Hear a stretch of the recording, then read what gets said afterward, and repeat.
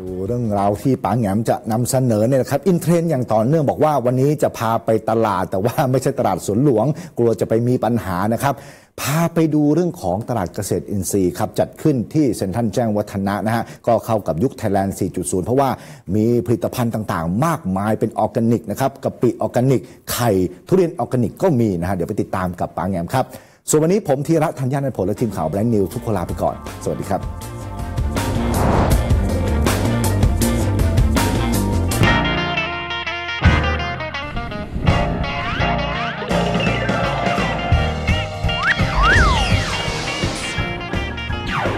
สวัสดีครับ ไทยแลนด์ 4.0 วันนี้มาจู่โจมที่งานตลาดเกษตรอินทรีย์ที่จัดขึ้นโดยองค์การตลาดเพื่อเกษตรกร หรืออตก นายกมลวิทย์แก้วแฝกผออตก เป็นประธานในการเปิดงานครับ ไม่ใกล้ไม่ไกลที่ศูนย์การค้าเซ็นทรัลแจ้งวัฒนะ ใกล้ๆกับสถานีโทรทัศน์ไบรท์ทีวีช่อง 20 มีไปจนถึงวันที่ 25เดียวครับ ตลาดเกษตรอินทรีย์ของอตกครับเชิญมาที่นี่นะครับกดไลค์ไปเรียบร้อยนะคะเพราะว่าสินค้าที่แจ้งวัคฒนนะเข้าจำหน่ายในงานวันนี้ล้วนแล้วแต่เป็นสินค้าเกษตรอินทรีย์ สิ่งหนึ่งที่สำคัญ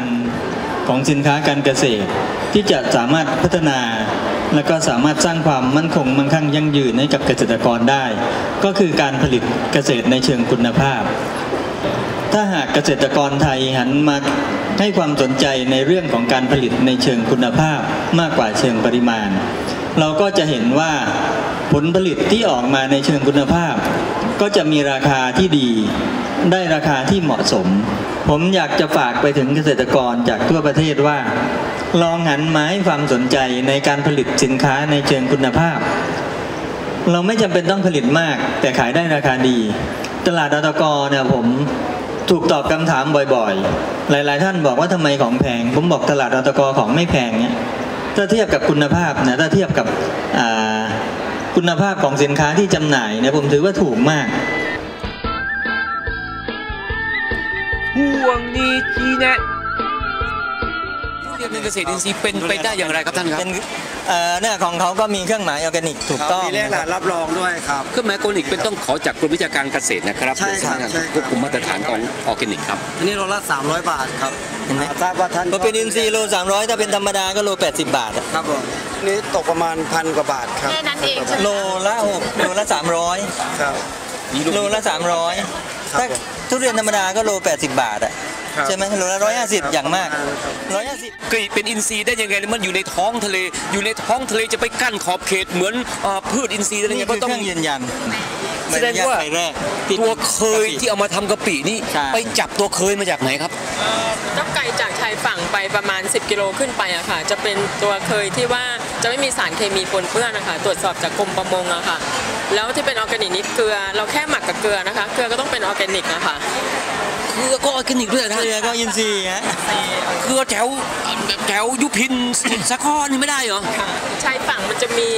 อย่างเคยถ้าอยู่ชายฝั่งก็จะเป็นเม็ดทรายบางที่ไปกินกะปิแล้วเจอเม็ดทรายนะคะอันนี้ข้อมูลจากลูกค้าแจ้งนะคะ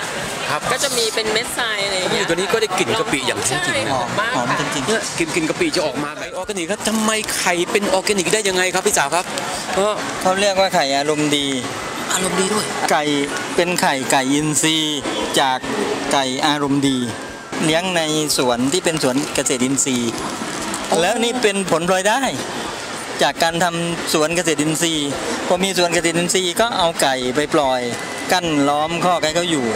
ในสวนเกษตรอินทรีย์เขาก็ฟักไข่ออกมาพอออกไข่มาไข่เนี่ยจะราคาดีมาก ป๋าแหงมและทีมงานที่ไม่รู้จักเหน็ดไม่รู้จักเหนื่อย ยังเดินไม่ทั่วงานเลยครับ เจ้านายปนปนติดตามเกาะขบวนรถไบค์ไปกับป๋าแหงมได้ที่ Facebook แฟนเพจข่าวป๋าแหงมทุกวัน และอินสตาแกรมป๋าหาแอมปนปน